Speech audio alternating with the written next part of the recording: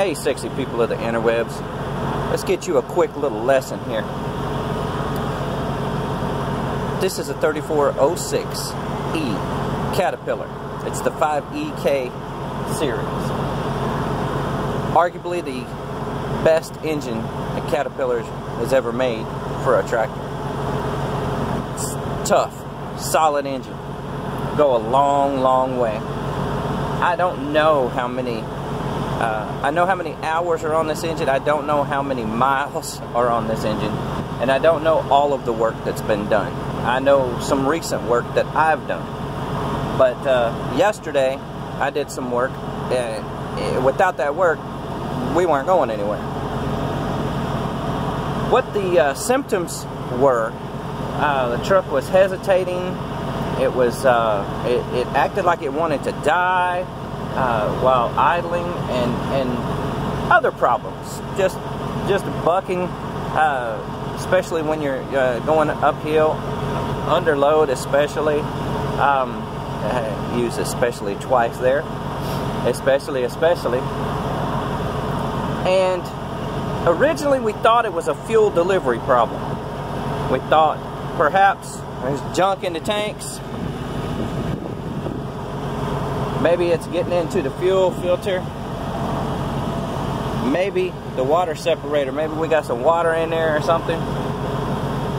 So I changed, I PM the truck as soon as uh, my drivers reported the problems that they were having, and um, I, you know, made them change everything out with cat, cat filters. Everything's cat. All right, it's important. Well, that didn't cure the problem. I ran a total of five gallons, five gallons of Lucas injector cleaner through here. Should be pretty clean in there. No, not at all at once. It was over time, over tanks, but uh, strong, strong in the tanks. A half a gallon each tank for a full tank, and then uh, then I went even stronger with that last one. But regardless, we're getting off the subject here what we were having, we were having a camshaft position sensor problem. And it's not something that's just going to pop up on a computer. You know what I mean? It's something that a, a very, very good mechanic is going to have to find. I'm not going to go into all the explanation of how we found it. I'm going to show you the problem first. Alright. This is a camshaft position sensor, also known as a speed sensor. Alright? And they come with a little cap on there, but that's what it looks like. That little dude right there. Got a little pluggy pluggy on the end. And it goes right here. Super simple.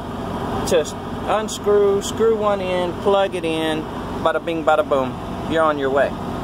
Now the problem with this one it's not apparent. I mean, you can't tell just by looking, but it's there. It's not there at the business end. It's at the pluggy pluggy end. And if I remember correctly, it was this black wire right here. There's something going on inside here. And it's not making a solid connection. We can't find a break in it anywhere in this line. But you can you can mess with that little dude while it's running and the truck will try to die. The truck will, uh, it's like a bucking bronco. So, that's what it is right there. Only Caterpillar parts, man. Only Caterpillar parts. Call it a Sensor GP. Or a Sensor GP-SP right there. I know you can see that SP. Speed sensor. I don't know what GP stands for. It stands for Grand Prairie, where I'm from. Anyway, so it took longer for the old boy to find this part on the computer than it did for me to put the new one in and get the truck rolling. I'm serious as a heart attack, no exaggeration. It took forever to find the part got to know what you're looking for. That's why I showed you the box. And you can get Caterpillar parts at Kenworth, Peterbilt, other places. Okay, I got this at Kenworth, and of course, this is a Pete. You don't tell them your ser you can tell them the engine number serial number. Don't tell them the VIN on your truck.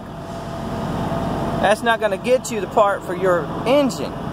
It might get you a part for that truck, but if this isn't the original engine, then you're looking for the wrong part anyway. Okay, so let's make this real fast, real simple. All I did was unplug this dude. It's real simple.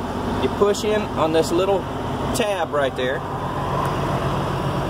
See where my finger is? Push in on the tab. It separates.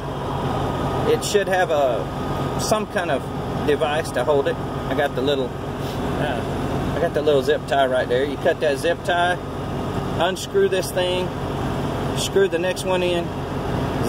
Don't zip tie it quite yet. Plug it in, make sure everything works. When it works, zip tie it, give it a little bit of play here. Just a little bit. Don't get tight with these things. Because I think that was the problem that we had. It had a bend in it. And over time, the heat, there's a lot of heat right here comes off of here. This is the compressor. And, and, and that's why the compressor has these heat, this heat exchange right here. Because this dude gets hot. Does a lot of work. Alright? So, there you go. Simple repair, easy peasy, and you're down the road. I haven't had a problem with it since. Appreciate you. Y'all come back and see me now.